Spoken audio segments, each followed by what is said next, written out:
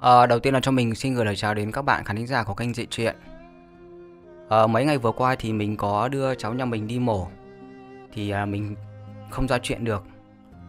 Và hiện tại thì vẫn đang à, nằm trên viện để à, chờ lành vết mổ thì mới về nhà được. Tuy vậy thì hiện tại thì mình vẫn cố gắng là tranh thủ ra được à, một ít nào thì mình ra. Chắc phải mấy hôm nữa thì à, cháu nhà mình à, được về rồi. Thì à, lúc đó mình sẽ tập trung vào đọc truyện. Nên mọi người rất là thông cảm cho mình. Và còn một điều nữa đó chính là khoảng 20 tập tiếp theo đây Thì uh, do bản dịch mình lấy ở trên mạng Nên là sẽ có nhiều chỗ Bạn dịch bạn ấy quên mất cái dấu chấm Với cả là cũng có lỗi chính tả nữa. Nên là ừ, trong quá trình đọc thì sẽ có một số lỗi. Thì uh, các bạn hết sức là thông cảm cho mình và ngay sau đây thì chúng ta cùng nhau đến với cả tập 256 của bộ truyện Tiên nghịch tác giả Nhị Căn, người đọc Phi Tùng. Các bạn đừng quên ấn like và comment cảm xúc của mình sau khi nghe chuyện và đặc biệt đừng quên ấn đăng ký kênh Dị Truyện để cập nhật những video mới nhất. Cảm ơn các bạn rất là nhiều. Và ngay sau đây thì chúng ta cùng nhau bắt đầu vào tập truyện.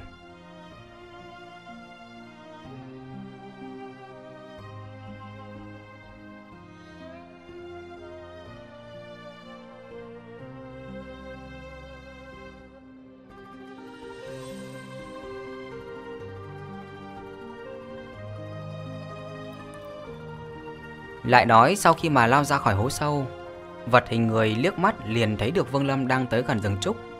Hai con mắt lạnh như băng của nó hiện ra sát khí hướng về phía Vương Lâm mà gầm lên một tiếng Wow Tiếng giống này chấn động trời đất. Một ít cấm chế xung quanh bị tiếng giống ảnh hưởng tự động mở ra, Nhưng cấm chế kia chưa kịp phát huy uy lực, liền lập tức sụp đổ trong tiếng giống. Ngay cả mặt đất giờ phút này cũng vỡ vụn thành từng mảnh lớn, xuất hiện vô số khe nứt một cỗ gió mạnh gào thét xông thẳng lên trời cao. Phía trước vật hình người này theo tiếng giống xuất hiện thì một đạo sóng gợn vặn vẹo. Thân mình của nó lao về phía trước, bước vào trong sóng gợn điên cuồng xông về hướng của Vương Lâm. Cho tới bây giờ thì Vương Lâm cũng không thể biết được đây rốt cuộc là vật gì.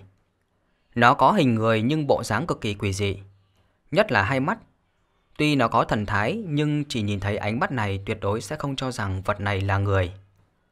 Nhất là một đường nó đuổi theo Vương Lâm. Tuy Vương Lâm bỏ chạy nhưng thần thức vẫn gắt cao quan sát và không thấy nó có thi triển thần thông nào cả. Cho dù là những sợi tơ nhỏ trên thân thể bắn ra thì cũng như là bản năng của nó thôi. Càng quan sát thì Vương Lâm càng cảm thấy vật này quỷ dị, mà càng khiến cho trong lòng hắn u ám, đó là vật này dĩ nhiên là tồn tại trong đầu của cổ thần. Nó rốt cuộc là có trước khi mà cổ thần này chết hay là sau đó thì mới chui vào trong. Nếu là sau đó mới chui vào thì thôi. Nhưng nếu là có trước khi mà cổ thần kia chết, như vậy việc cổ thần bái tinh này chết có liên quan gì tới vật này hay không? Hay là cái chết của cổ thần bát tinh này không phải như là Vương Lâm đã đoán từ trước, là do thiên đạo hư vô mờ mịt gây nên như là Vương Lâm đã đoán?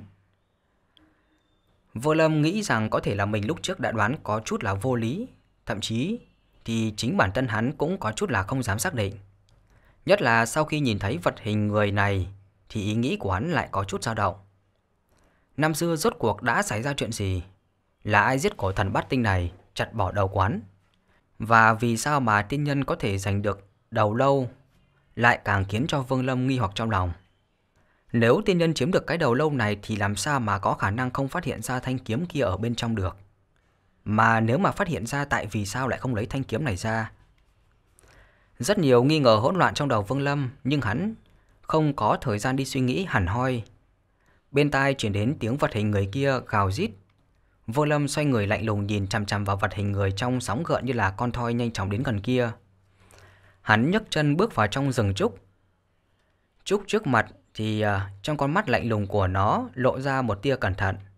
Nhưng một lát sau thì vẻ cẩn thận ở trong mắt của vật hình người này liền biến mất, lập tức bị một cỗ lo âu thấy thế, nó gầm nhẹ một tiếng, một tiếng lưỡng lự ở bên ngoài rừng trúc một lát, những sợi nhỏ bên ngoài thân thể bắt đầu uốn éo. Nó ngẩng đầu không do sự mà lập tức nhảy vào trong rừng trúc. Há quang chợt lóe lên, vật hình người này biến mất. Sau khi mà thân hình nó biến mất, một nơi sâu trong rừng trúc chợt lóe lên hào quang, Vương Lâm bước ra. Hắn bình tĩnh nhìn qua chỗ vật hình người kia vừa biến mất. Xoay người nhìn về phía rừng trúc trước mặt, trong mắt lộ ra vẻ tính toán. Hắn cẩn thận bước sang bên cạnh một bước. Chỉ một bước thôi thì tức thì mắt hắn hoa lên, đợi khi mà rõ ràng thì đã bước ra khỏi cánh rừng trúc này rồi. Đối với cấm chế nơi đây thì lấy hiểu biết của Vương Lâm về thuật cấm chế, cho dù muốn phá giải thì cũng có chút gian nan. Nhưng sau khi hắn có bản đồ ngọc giản, một chút cấm chế trong đó cũng có thể làm được là trốn vào mà không cần phải mở ra cấm chế. Giống như là khu rừng trúc này vậy, chính là như vậy. Cấm chế khu rừng trúc này tuy mạnh nhưng vật hình ý kia càng quỷ dị. Cấm chế này sợ là không nhốt được nó bao lâu. Nhân khoảng thời gian này thì chính là mau rời khỏi đi, xâm nhập vào trong động phủ là hơn. Vô Lâm nhìn phía trước, nơi tràn ngập màn sương đen ở chỗ sâu trong lầu cát. Từ xa nhìn lại có thể mơ hồ thấy được một góc cung điện như ẩn như hiện ở trong màn sương đen. Vị trí đó chính là trung tâm của toàn bộ động phủ này. Nhưng Vương Lâm cũng biết nơi đó chỉ là lối vào tầng thứ nhất sang tầng thứ hai mà thôi. Trước khi có được bản đồ ngọc giản, đối với cả động phủ của tiên đế này Vương Lâm có chút mê man không biết rõ ràng. Nhưng hiện tại trừ một tầng cuối cùng kia ra thì hết thảy kết cấu động phủ này đã thành hình ở trong đầu quán. Động phủ tiên đế này có 9 tầng, mỗi một tầng kiến trúc khác nhau, cấm chế cũng ngày càng tăng, ngày càng mạnh. Lúc này cấm chế tầng thứ nhất đã không kém, mà theo không ngừng đi vào cấm chế này cuối cùng sẽ đạt tới một trình độ khủng bố. Đây mới là động phủ của tiên đế chân chính. Nguyên bản sau khi mà từ ngoại giới truyền tống đến đây, đúng ra phải xuất hiện ở trong này. Nhưng hiển nhiên là trong quá trình truyền tống đã bị tán ma kia dùng bạch ngọc bình quấy nhiễu. Vì thế nên tất cả mọi người đều bị truyền tống vào trong bình. Sau khi bình bị phá vỡ, tán ma kia mở ra tán thiên trì. Sau khi mà sụp đổ lại khiến cho mọi người tản ra.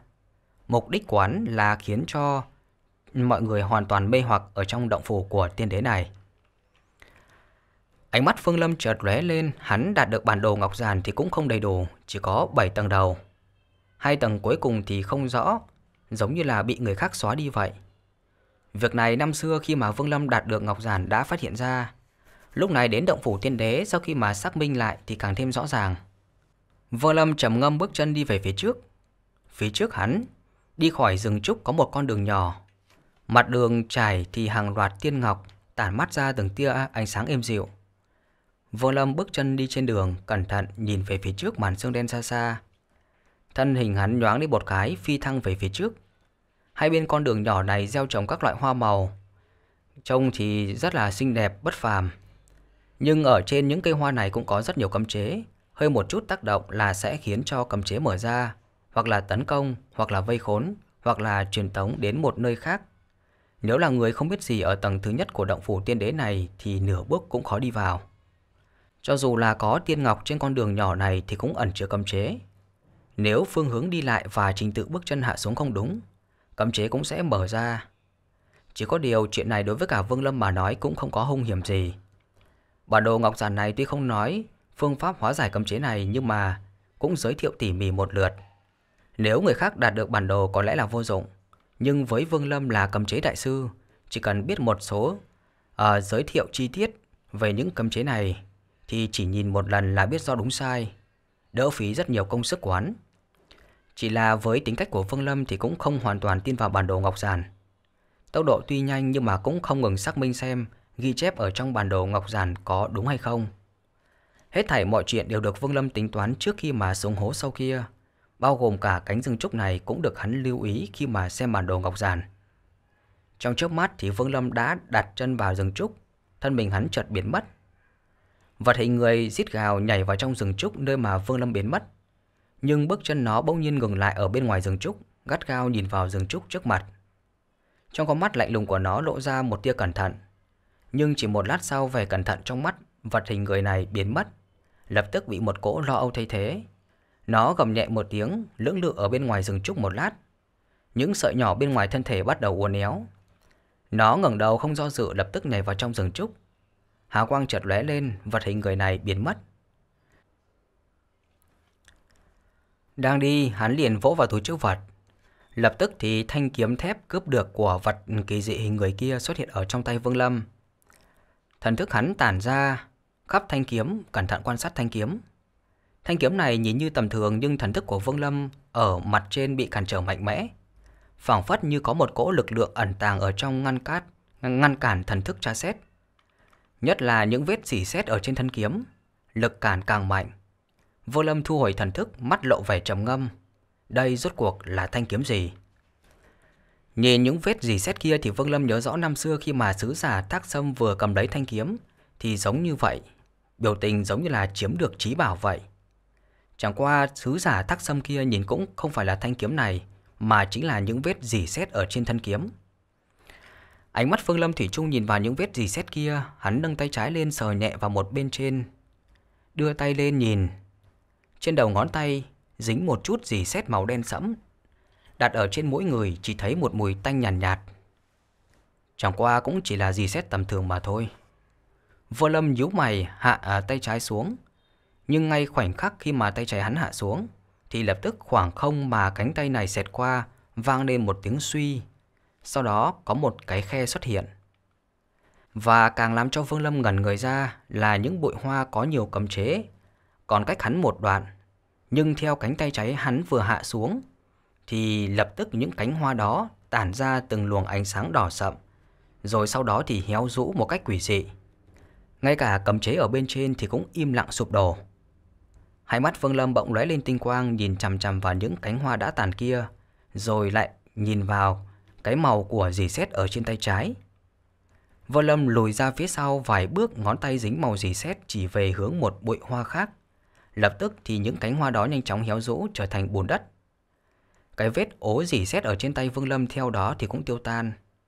Vô Lâm hít một hơi thật là sâu, nhìn chằm chằm vào vết dì xét ở trên thanh kiếm thép, ánh mắt lộ vẻ rung động. Hắn chậm ngâm một lát sau đó cắn răng tâm thần khẽ động, trong nháy mắt con mắt thứ ba ở trên mi tâm mở ra, và khoảnh khắc Vương Lâm mở con mắt thứ ba thì lập tức hồng quang ở bên trong lóe lên bay ra bao phủ phía trên của thanh kiếm. Lực bổn nguyên ẩn chứa bên trong theo ánh mắt Vương Lâm rơi thẳng lên vết dì xét kia.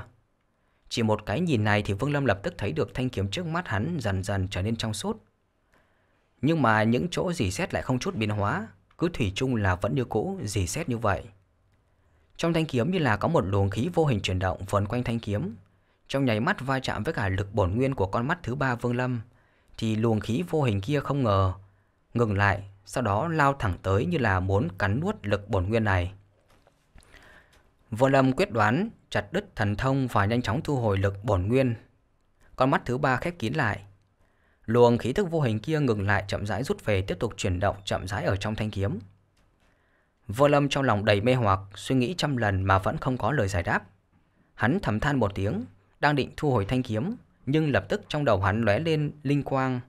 Nhìn thanh kiếm ước lượng lớn nhỏ một chút, sau đó vẻ mặt lập tức trở nên cổ quái. Hắn liền vỗ vào túi chữ vật, ngay lập tức có năm đạo tinh quang từ trong túi chữ vật bay ra, hóa thành năm cái vỏ kiếm ở trước người hắn. Năm cái vỏ kiếm này năm xưa thì Vương Lâm đạt được ở Chu đức Tinh, vẫn không có rõ tác dụng của nó. Chỉ có điều nếu có phi kiếm dung nhập vào trong vỏ kiếm có thể khiến cho uy lực của phi kiếm ngày càng thêm dữ dội. Lúc này đây thì Vương Lâm lấy ra năm cái vỏ kiếm này, tay phải của hắn thì hư không nắm lại. Lập tức thì thanh kiếm à, dì xét dung nhập vào một cái vỏ kiếm. Vừa khít không chút dư thừa. Chỉ là sau khi mà kiếm thép dung nhập vào vỏ kiếm, thì cũng không có chút biến hóa gì cả. Vô Lâm rút thanh kiếm ra, thử lại với bốn vỏ kiếm còn lại. Ngay trong khoảnh khắc thanh kiếm tra vào cái vỏ thứ ba, Thì lập tức phù văn điêu khắc ở trên vỏ kiếm tỏa ra ánh sáng chói mắt Một cỗ khí tức đáng sợ lập tức theo thanh kiếm vào bên trong vỏ kiếm điên cuồng truyền ra Trong mắt Vương Lâm lộ ra vẻ ngạc nhiên vui mừng Tay cầm vỏ kiếm, âm thầm hít sâu một hơi sau đó chậm chạp rút thanh kiếm ra và ngay tại khoảnh khắc thanh kiếm được rút ra khỏi vỏ thì một cỗ khí tức đáng sợ ở bên trong lập tức dâng lên, phảng phất như có một cỗ lực lượng không thể tưởng tượng được bị phong ấn ở bên trong. Nếu rút kiếm ra như vậy, thì cỗ lực lượng này sẽ phóng lên cao. Cỗ lực lượng này Vương Lâm đã từng cảm nhận ở trên pháp bảo của một người. Chủ nhân của pháp bảo kia cũng trở thành phương hồn, chính là huyền bảo thượng nhân. Mà pháp bảo kia thì chính là thứ không niết tiễn. Thứ không niết sao? Hai mắt phương Lâm lóe lên tia sáng kỳ dị, không rút thanh kiếm ra, mà lại đút sâu vào trong vỏ kiếm. Hắn mang theo một tia hưng phấn thu hồi pháp bảo, bay nhanh về phía trước. Thân mình Vương Lâm giống như là một tia chớp từ đường nhỏ thẳng đến phía trước, trong nháy mắt đã đến gần một lầu các. Lầu các này không lớn chỉ có hai tầng, nhìn qua thì bình thường. Nhưng trong bản đồ ngọc giản thì lại ghi chép lầu các này là một nơi có mắt cấm chế. Phải mở ra toàn bộ thì mới có cơ hội để bước vào màn xương đen kia. Vô Lâm cẩn thận quan sát lầu các này, ánh mắt chợt lóe. Hắn đã nhìn ra cấm chế lầu các này đã sớm bị người ta phá vỡ. Từ cấm chế này xem ra đã bị phá vỡ không lâu. Vô Lâm lộ ra vẻ cẩn thận. Rất hiển nhiên là người hiểu được mấu chốt cấm chế nơi đây không phải chỉ có mình hắn. Lúc trước ở táng tiên trì sụp đổ, tất cả mọi người bị phân tán, tất nhiên sẽ xuất hiện người phá vỡ cấm chế đầu tiên. Chỉ là không biết rốt cuộc là có những ai đi ra. Vô Lâm nhìn xung quanh tầng thứ nhất động phủ tiên đế này cũng không lớn, thần thức đảo qua có thể thấy toàn bộ. Nhưng trừ khi là người đầu tiên nếu không thì không ai dám tản ra thần thức dưới nhiều cấm chế như vậy. Cho dù là thiên vận tử cũng sẽ băn khoăn rất là lớn. Nếu không phải lúc vạn bất đắc dĩ thì cũng không dễ dàng tản ra thần thức. Giờ đây thì chấm ngâm một lát thân mình Vương Lâm nhóng một cái đã tránh qua lầu các này. Hắn đi đến bên một máng cỏ. Hai mắt lóe ra vẻ suy tư, thân mình không chút ngừng lại mà đi thẳng về phía trước. Cấm chế phía trên máng cỏ đó thì cũng có được giới thiệu ở trong bản đồ ngọc giản của phương Lâm. Giờ phút này phương Lâm đạp ở bên trên đi qua từng cấm chế nhưng mà không có bất kỳ một cấm chế nào mở ra. Tốc độ hắn tăng lên trong nháy mắt, vượt qua máng cỏ.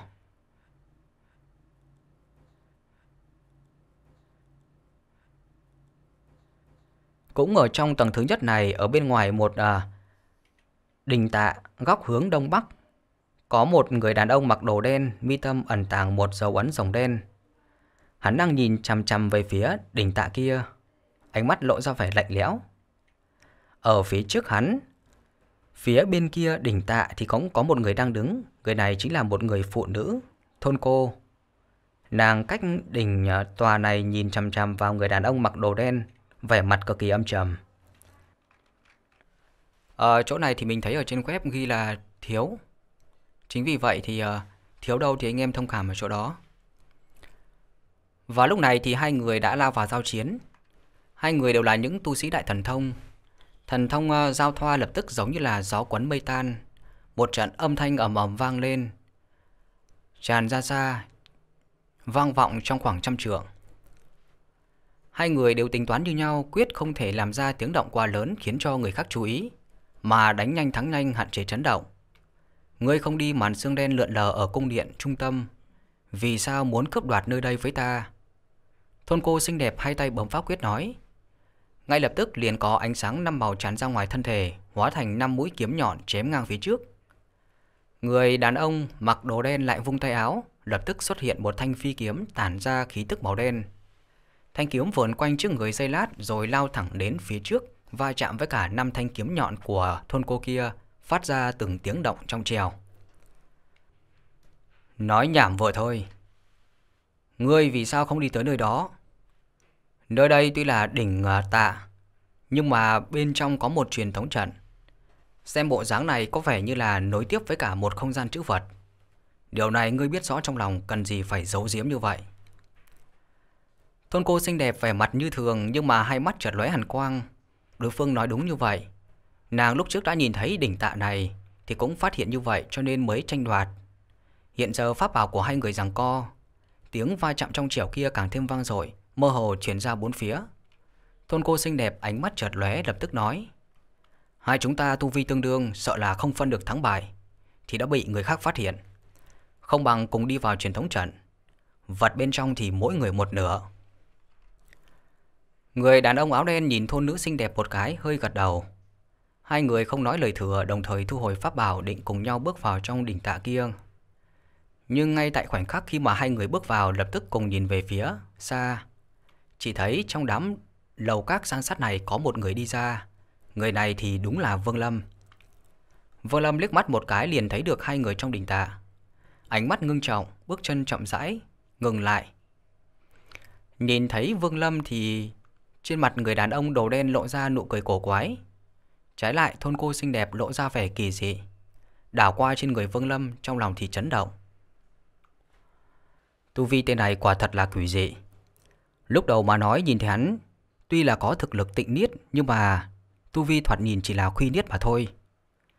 Tức là lúc trước thì không quá khuy niết trung kỳ, nhưng hiện tại không ngờ đã đạt tới khuy niết đại viên mãn. Người này rốt cuộc là ẩn giấu tu vi chân thực hay gần nhất là có đột phá đây. Vương Lâm cẩn thận liếc mắt nhìn hai người này, hắn tự nhiên nhận ra bí ẩn ở trong đỉnh tạ này. Trên thực tế thì bản đồ Ngọc Giản cũng có giới thiệu về đỉnh tạ này. Truyền thống trận nơi đây đi thông qua một cái không gian chữ vật. Hơn nữa, cho dù là không có bản đồ Ngọc Giản, thì Vương Lâm chỉ cần nhìn một cái là phát hiện ra truyền thống trận ở trong đỉnh tạ kia. Vương Đạo Hữu cũng đến đây như thế thì ba người chúng ta cùng tiến vào. Đồ vật lấy được chia ba phần, thế nào? Thôn cô xinh đẹp kia hơi trầm ngâm nhìn Vương Lâm mà nói. Vương Lâm đưa ánh mắt nhìn nhưng mà xa quá không thấy được gì. Bởi vì ở trong động phủ tiên đế này có rất nhiều cấm chế. Tổ hợp với nhau liền hình thành trở ngại. Cũng có vô số thế giới, cho dù là khoảng cách rất là gần, nếu ở trong hai cấm chế thì cũng không thể phát hiện đối phương. Thậm chí ngay cả tầm mắt thì cũng bị cản trở. Vừa nhìn qua chỉ thấy trong động phủ thì một mảnh yên tĩnh. Nhưng đây chỉ là mặt ngoài mà thôi. Nếu phá vỡ tất cả cấm chế ở nơi này thì ngay lập tức sẽ phát hiện ở phía xa có một khu rừng trúc. Giờ phút này trong rừng trúc thì màn sương hồng ngập trời.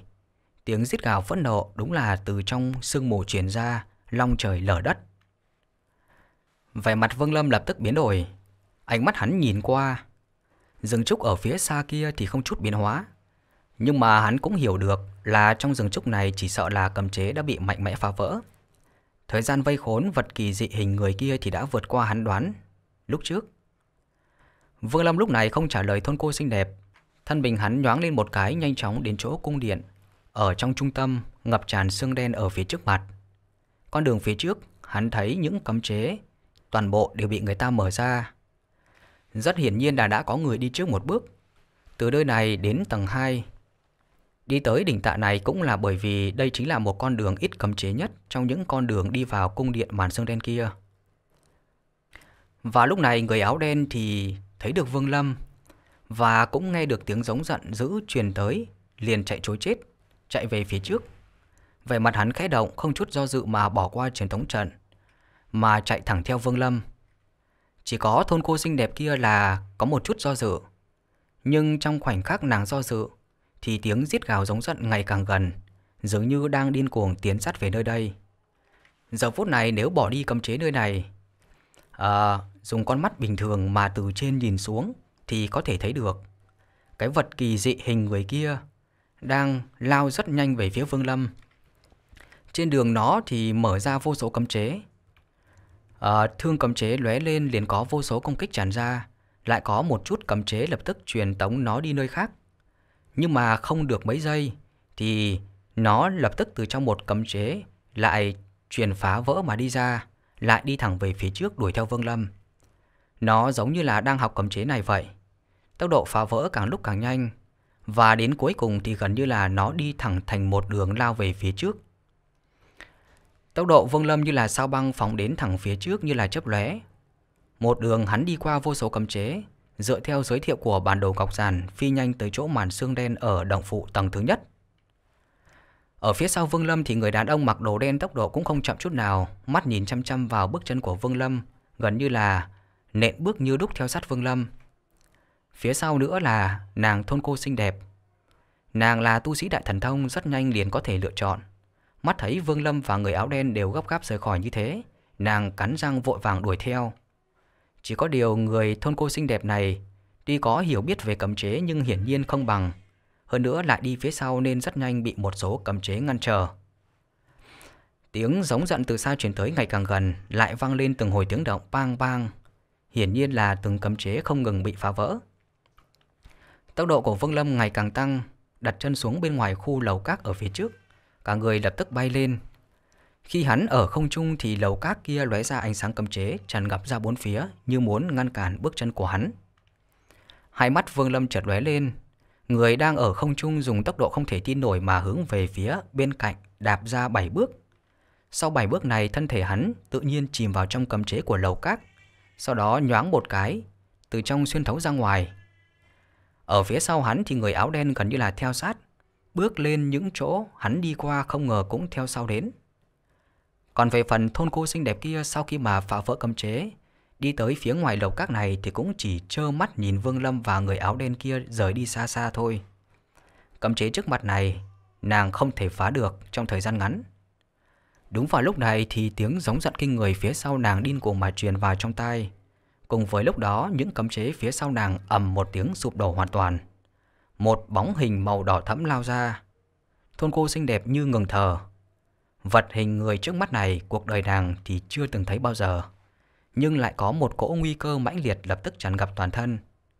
Vật hình người kia lúc này hai mắt lạnh như băng lóe ra vẻ phẫn nộ, giết gào xông thẳng đến thôn cô xinh đẹp. Tay phải nó lâng lên, co lại thành trào. Mắt sẽ thấy chụp tới. Nhưng ngay tại khoảnh khắc này thì một tiếng quát khẽ bỗng nhiên vang lên. Nghiệt xúc, Lam Can. Theo tiếng quát truyền đến thì lập tức có một đạo gợn sóng bỗng nhiên xuất hiện trước người của thôn cô xinh đẹp. Chấn động ra bốn phía. Lập tức thì thôn cô xinh đẹp kia vội vàng lùi về phía sau. Vật hình người kia cũng không ngừng lại, bị sóng gợn tấn công. Một bóng người màu xanh cách đó không xa bước đến gần. Người này già nua nhưng hai mắt ẩn chứa tinh quang chính là hư không tử. Hư không tử giờ phút này trong lòng cũng cực kỳ khiếp sợ. Lão đã sớm đi ra khỏi cấm chế do chấn động lúc trước thắng tiên trì sụp đổ gây nên. Lão đã đi vòng quanh tầng thứ nhất động phủ tiên đế hồi lâu, cũng có nhiều thu hoạch. Nhưng ngay vừa rồi thì tiếng giết gào giống giận kia cũng khiến cho tâm thần của lão chấn động. Lão dựa theo thanh âm tìm tới, thấy cảnh thôn cô xinh đẹp kia gặp nguy hiểm. Lão cùng với cả thế lực của thôn cô xinh đẹp có chút quan hệ, không thể thấy chết mà không cứu. Lúc này sau khi lão thi triển thần thông, hơi chút cản trở lại. Thân hình nhoáng lên trực tiếp đi tới bên cạnh thôn cô xinh đẹp. Tay áo lão quét ngang quấn người phụ nữ xinh đẹp lên không trung, dùng tu vi mạnh mẽ mà trực tiếp nhảy vào trong cấm chế lầu các. Cấm chế trên lầu các kia nhanh chóng lóe lên hào quang, nhưng trong chớp mắt bị chấn động do hư không tử gây nên ầm ầm sụp đổ. Hư không tử à, vác thôn cô xinh đẹp đi thẳng tới phía trước. Vật hình người kia nhìn chằm chằm vào hư không tử, ngửa mặt lên trời mà rít gào một tiếng sau đó lập tức đuổi theo Vương Lâm.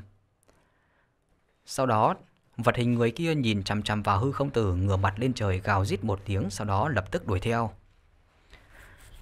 Vương Lâm thì một đường bay nhanh liên tục qua lại không ngớt trong mấy cái cấm chế, không chút nào đụng chạm khởi động cấm chế. Hắn trực tiếp xuyên qua rất nhanh liền đi tới gần khu vực màn xương đen ở trung tâm nơi này. Màn xương đen này rất là quỷ dị. Sau khi Vương Lâm tới gần lập tức thì cảm nhận được ở trên đó có một cỗ ma khí đồng đậm. Nhưng lúc này tiếng giết gào phía sau không ngừng tới gần khiến cho Vương Lâm không có nhiều thời gian do dự. Hắn không chút nghĩ ngợi mà bước vào trong màn xương đen kia. Ở phía sau hắn, người áo đen kia hay co con mắt rụt lại, cũng không chút do dự mà nhảy theo sát Vương Lâm.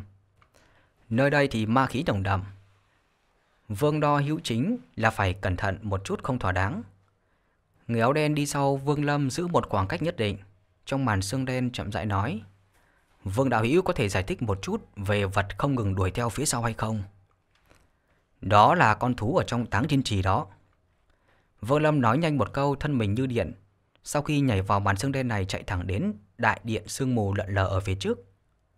Cung điện này cực kỳ khổng lồ, hơn xa hết thảy lầu các ở phía ngoài. Từ ngoài nhìn vào cung điện này tràn ngập uy áp, dưới màn sương mù lại lộ vẻ âm trầm quỷ dị, phảng phất như có thứ gì đó dữ dằn nằm sắp ở trên mặt đất, lạnh lùng nhìn chằm chằm vào tu sĩ nhỏ bé ở dưới chân nó. Đứng ở bên dưới đại điện ngẩng đầu lên, nhìn cung điện này to lớn, gần như là có thể che trời. Giờ phút này cửa lớn cung điện bị mở ra một khe tuy khe hở không lớn, nhưng có thể uh, cho 10 người xông qua. Tốc độ Vương Lâm như điện quang, sau khi mà tới gần trực tiếp nhảy vào bên trong cánh cửa lớn, nhảy vào đại điện tầng thứ nhất động phủ tiên đế. Vừa vào đại điện, thân hình Vương Lâm bỗng nhiên ngây ra.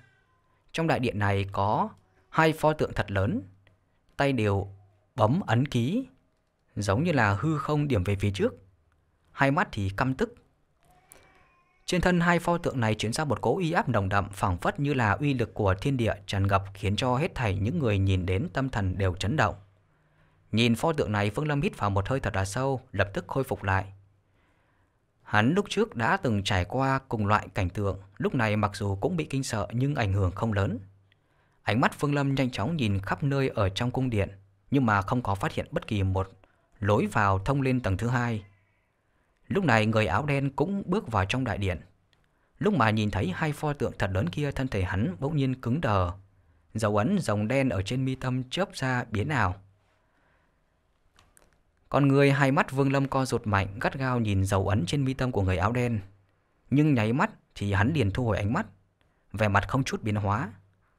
Người áo đen kia chỉ giây lát liền à, khôi phục lại như bình thường, nhưng khoảnh khắc hắn khôi phục lại thì vẻ mặt lập tức âm trầm. Hắn liếc mắt nhìn Vương Lâm một cái phát hiện Vương Lâm cũng không nhìn về phía mình, không khỏi nhíu mày lại. Hắn biết là vừa rồi bí ẩn của mình vừa lóe ra một lúc, nhưng mà không xác định được là Vương Lâm có chú ý tới hay không. Lại nói vào lúc này thì trong đại điện truyền đến tiếng động ầm ầm. Hiển nhiên là cầm chế nơi này đã bị người ta mạnh mẽ phá vỡ. Chỉ thấy hư không tử mang theo thôn cô xinh đẹp kia bỗng nhiên xuất hiện ở trong đại điện. Trong khoảnh khắc bước vào trong đó, cho dù là hư không tử đi nữa thì cũng bị chấn động bởi hai pho tượng kia. Chỉ có điều, lão rất nhanh liền khôi phục lại. Nếu không cẩn thận quan sát thì không chút nào phát hiện ra giây phút hư không tử sững sờ kia đâu. Về phía của thôn cô xinh đẹp ở bên cạnh hư không tử, hai mắt cũng lộ ra vẻ mê man. Nhưng dưới sự giúp đỡ của hư không tử cũng nhanh chóng khôi phục lại như thường. Hư không tử liếc mắt một cái liền thấy được Vương Lâm. Sát khí chợt lóe lên trong mắt của lão. Lão đang định bước tới phía trước thì ngoài đại điện lập tức vang lên tiếng giết gào giống giận càng ngày càng gần. Thôn cô xinh đẹp kia sắc mặt tái nhợt lại. Sau khi nhìn thấy Vương Lâm thì lập tức trách mắng. Vương Lâm, ngươi rốt cuộc là trêu chọc cái thứ gì? Đã dẫn tới cái vật hình người kia đuổi đến cùng như vậy. Trải qua nguy cơ vừa rồi thôn cô xinh đẹp này dĩ nhiên là mặt mày tái nhợt, không xưng hô đạo hữu mà kêu thẳng tên Vương Lâm. Vương Lâm đã tìm một vòng đại điện tuy không phát hiện ra lối vào tầng thứ hai, nhưng ánh mắt của hắn lại rơi vào hai pho tượng kia và cũng có phỏng đoán của riêng mình. Giờ phút này hắn nghe được lời của thôn cô xinh đẹp thì ánh mắt chợt lóe, bình tĩnh nói: "Các hạ làm sao mà biết được, vật hình người kia chính là đuổi theo Vương Mộ tới đây chứ?"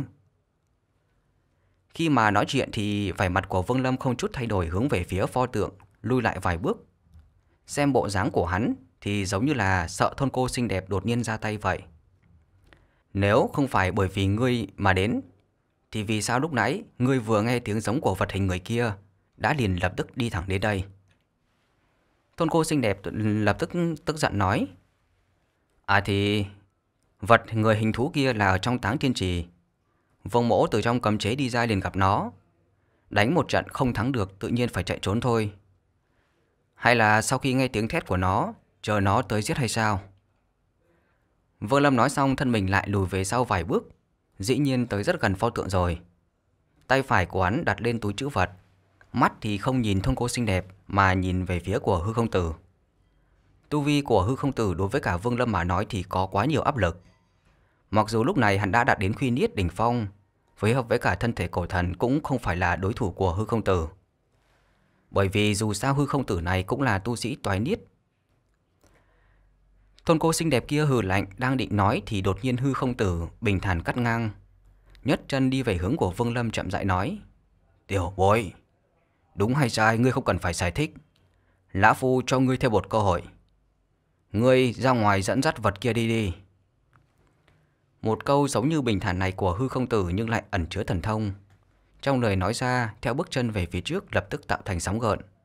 Sóng gợn này cũng không phải là một đạo, mà mấy đạo sóng gợn vô tình bỗng nhiên xuất hiện ở giữa lão và Vương Lâm. Trong nháy mắt thì mắt phải Vương Lâm chợt lóe ánh xanh, lập tức thanh quang thuẫn biến ảo hiện ra. Trong khoảnh khắc chấn động tràn ngập, thì chiếc uh, khiên trước mặt hắn chỉ nghe một tiếng nổ vang lên long trời lở đất. Chiếc thanh toan thuẫn kia thì không có bất kỳ một lực cản nào đối với cả sóng gợn đầu tiên của hư không tử. Sóng gợn ầm ầm lao tới trực tiếp va chạm vào ngực của Vương Lâm. Một hồi tiếng răng rắc vang lên, Vương Lâm phun ra một đống máu tươi, thân mình giống như là diều đứt dây tung ra phía sau. Trong cơ thể hắn theo thanh quang thấn bị cuốn ngược trở lại, lại có một sóng gợn nhanh chóng chui vào trong. Sóng gợn này tràn ngập hống hách, điên cuồng xé rách kinh mạch ở trong cơ thể Vương Lâm. Nó lại hóa thành một cỗ chấn động không thể tưởng tượng được, như thế trẻ tre một đường sông tới muốn hủy diệt xương thịt của Vương Lâm. Tất cả mọi chuyện xảy ra gần như là trong nháy mắt liền hoàn thành nhanh tới mức cho dù là thôn cô xinh đẹp cũng phải ngẩn cả người. Người áo đen bên kia thì đồng tử càng co rụt lại. Vào khoảnh khắc thân mình Vương Lâm bị hung hăng quăng ra, hư không thử khẽ a một tiếng. Một đòn vừa rồi của lão tuy không toàn lực, nhưng giết một tu sĩ khuy niết cũng dễ như trở bàn tay. Vốn lão nghĩ rằng dưới một đòn này, Chu Tước Tử chưa thành Chu Tước Thánh kia, nhất định thân thể sẽ tan nát mà chết. Nhưng hư không tử rất là kinh ngạc là thân thể Vương Lâm này chẳng những không tan nát mà ngược lại không lập tức chết đi. Chiếc khiên nhỏ ánh sáng xanh đột nhiên xuất hiện gần như là triệt tiêu phần lực lượng của lão. Cho dù là như vậy thì ba thành còn lại cũng đủ để giết chết Vương Lâm. Nhưng điều khiến cho lão phải giật mình là ba thành lực này rơi vào người Vương Lâm. Không những chỉ khiến hắn phun máu tươi, trọng thương mà không có chết. Vương Lâm đang ở giữa không trung sóng gợn trong cơ thể phá tung cuối cùng đi thẳng đến Nguyên Thần. Một tiếng ầm vang lên trong cơ thể. Nguyên Thần Vương Lâm mặc dù có cột thần bảo vệ, nhưng dưới chấn động này thì hơi có chút mờ đi. Một vòi máu tươi từ trong miệng đi ra, thân hình hắn bị ném mạnh về phía sau. Từng cơn đau nhức trong cơ thể truyền tới, à, từng chứng tỏ là hắn có thân thể dù là cổ thần nhưng mà lúc này cũng bị thương rất là nặng. Nhưng từ hai mắt của Vương Lâm thì vẫn thủy chung bình tĩnh, nhìn chằm chằm hư không tử. Thân thể bị quăng ra, rơi vào trung tâm đôi mắt giận dữ của hai pho tượng trong đại điện. Lúc này vẻ mặt Vương Lâm bình tĩnh như trước, mơ hồ lộ ra một tia trào phúng. Hắn tự biết là không phải đối thủ của hư không tử. Người này lúc trước ở ngoài táng thiên trì Vương Lâm liền cảm giác được lão có ý đồ không tốt với mình. Sau khi liên hệ với cả Chu Tước thức tình, thì Vương Lâm trong lòng đã 8 phần 10 là người này có ý định giết mình. Lúc này ở trong đại điện, tiếp xúc gần gũi với cả đối phương như thế, hư không tử này tất nhiên lộ ra sát khí. May mà hắn đã mơ hồ tìm được lối vào tầng thứ hai, vì vậy mà dứt khoát mượn lực tấn công của đối phương đánh trúng thân thể để đi đến vị trí này. Ngoài ra trong lòng hắn trong thời gian ngắn đã đặt một sát cục, mục tiêu chính là hư không tử này. Cái chỗ Vương Lâm làm sao mà đi được vào tầng thứ hai thì uh, chỗ này bị thiếu, chắc là Vương Lâm đã lợi dụng cái lực đánh cuối cùng đó của hư không tử để nhảy vào tầng thứ hai. Đoạn nhảy vào như thế nào thì chuyện nó bị thiếu. Lúc này thì Vương Lâm nghĩ người không phạm ta, ta cũng sẽ không phạm người. Nếu hư không tử này không ra tay thì sát cục này tự nhiên sẽ không mở ra đâu. Chỉ khi nào đối phương ra tay, như vậy Vương Lâm cũng tuyệt đối không khoanh tay chịu chết. Cho dù trong sát cục giết được người hay không, cũng phải để lại một ký ức khó quên với cả người đó. Và lúc này hai tay Vương Lâm bấm pháp quyết. Ấn quyết hai tay hắn giống như ấn quyết của hai pho tượng kia vậy. Trong nháy mắt dấu ấn được hình thành, lập tức hai mắt căm tức của hai pho tượng lóe lên ánh sáng màu tím. Hai luồng ánh sáng nào màu tím này lao ra vây quanh thân thể Vương Lâm. Lập tức thì hình thành một cơn gió lốc, khiến cho thân thể Vương Lâm lao thẳng đến lốc xoáy. Nhưng hư không tử tu đạo nhiều năm như vậy, ánh mắt tự nhiên đã biết. Sau khi mà Vương Lâm bị tung ra, thì lão đã biết được vị trí này không bình thường. Không một chút do dự mà ra tay đánh thêm một thần thông. Thần thông biến thành cơn bão cát gào thét thẳng đến Vương Lâm trong lốc xoáy. Nếu dựa theo tốc độ xoáy này, thì sợ là không đợi toàn thân Vương Lâm hoàn toàn dung nhập vào trong lốc xoáy, thì đã liền bị đụng tới sụp đổ mà chết. Thân mình của hư không tử khẽ lay động một cái, lao thẳng đến Vương Lâm. Hai mắt Vương Lâm chợt lóe hàn quang. Trong khoảnh khắc gió lốc tiến đến, thì con mắt thứ ba trên mi tâm của hắn bỗng mở ra. Con mắt thứ ba ở mi tâm này là một trong những thần thông mạnh nhất của hắn, tuyệt đối không dễ dàng sử dụng. Nhưng vào lúc này khi mà hư không tử tới gần hắn, trong khoảnh khắc nguy cơ sống chết, Vương Lâm không chút do dự mà mở ra con mắt thứ ba. Hư không tử! Ánh mắt Vương Lâm chặt ngập sát khí gầm nhẹ một tiếng. Lập tức thì trong con mắt thứ ba ở mi tâm có một luồng ánh sáng màu đỏ điên cuồng mà lao ra, hình thành quạt tràn ra phía trước. Khoảnh khắc mà Vương Lâm mở ra con mắt thứ ba, khuôn mặt thủy chung âm trầm của hư không tử lần đầu tiên có sự biến hóa. Tuyệt đối không phải là biến hóa nhỏ, mà như là biến hóa thay đổi ngập trời. Bản nguyên Ánh mắt hư không tử lộ vẻ khó tin, nhưng ngay lập tức lại nổi lên một cỗ cuồng nhiệt. Giờ phút này cái gì Chu Tước Thánh Tông, cái gì Tu Chân Liên Minh đều bị hư không tử gạt sang một bên. Trong mắt của lão chính là bản nguyên lực tản ra từ con mắt thứ ba ở mi tâm của Vương Lâm. Không chỉ có lão mà ngay cả người áo đen, có dấu ấn rồng đen về mặt cũng biến đổi mạnh. Hai mắt nhìn chằm chằm vào Vương Lâm lộ ra ánh sáng khó tin. Duy chỉ có thôn cô xinh đẹp kia vẻ mặt lộ ra vẻ kỳ dị, nhưng mà không có tham lam cuồng nhiệt, mà chỉ nhíu mày nhìn chằm chằm Vương Lâm. Lực ừ, lượng bổn nguyên ở trong ánh sáng đỏ tràn ngập. Ánh đỏ gào thét mà nháy mắt liền va chạm với cả bão cát màu vàng kia. Không có tiếng động nào vang lên, thần thông bão cát có tu vi toái niết trong nháy mắt chấn động, nhanh chóng tiêu tan. Mi tâm Vương Lâm đau nhói, lực bổn nguyên quán vốn không nhiều, giờ phút này đã nhanh chóng bị triệt tiêu cùng với cả côn bão tuyết à, cháy bụi của à, hư không tử. Vương Lâm lúc này không thu hồi lại lực lượng con mắt thứ ba. Hai mắt hắn lóe sát khí.